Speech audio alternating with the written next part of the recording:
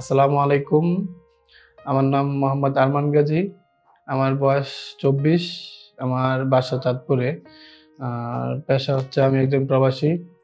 আমি দীর্ঘদিন যাবৎ ব্যাক পেন কোমরের ব্যথা আর কি ভুগতেছিলাম। তো তার আগে আমি অনেক ওষুধ খাইছি, অনেক ডাক্তার দেখাইছি। অতটা আর কি ভালো ফলাফল পাই নাই। তারপর আমি ইউটিউবে ডাক্তার শফিউল্লাহ স্যারের ভিডিও দেখতেছিলাম যে এখানে অনেক রোগী আইসে আর কি সুস্থ হয়ে যায়। তো আমি এরকম আস্থা বিশ্বাস নিয়ে আসছি। আমি সেইখানে ডিপিআরসি তে ভর্তি হলাম। তো এক সপ্তাহ ট্রিটমেন্ট নেওয়ার পরে এখন আলহামদুলিল্লাহ, আল্লাহর রহমত আমি অনেকটাই সুস্থ ফিল করতেছি আর কি।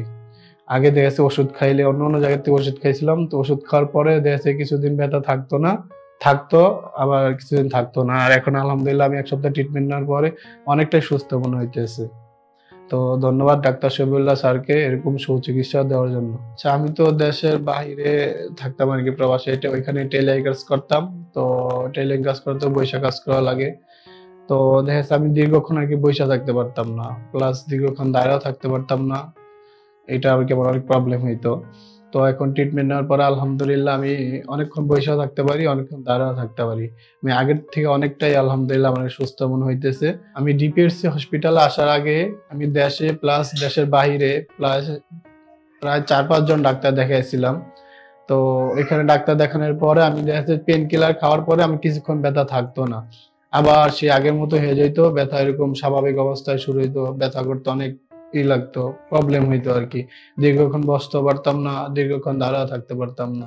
আমি যখন ডাক্তার দেখাইছিলাম আগে, তো আমি ডক্টর দেখানোর পর আমার ব্যথা দেখতেছিলাম যে কমতে ছিল না। তো আমি এটা নিয়ে অনেক কনফিউশন ছিলাম, অনেক অনেকটা আর কি চিন্তিত ছিলাম যে আমার ব্যথাটা মূলত কিসের? কিডনির ব্যথা নাকি অন্য কোনো ব্যথা?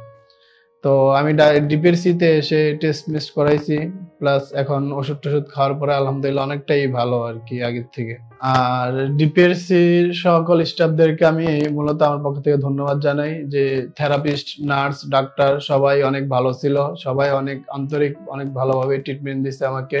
আলহামদুলিল্লাহ আমি ডিপিআরসিতে এসে অনেকটাই স্যাটিসফাই এখানে ট্রিটমেন্ট নিয়ে আমি তো দীর্ঘদিন যাবৎ কোমর ব্যথায় ভুগতেছিলাম। তো এখন আলহামদুলিল্লাহ আমার কাছে অনেকটাই সুস্থ মনে হইতেছে।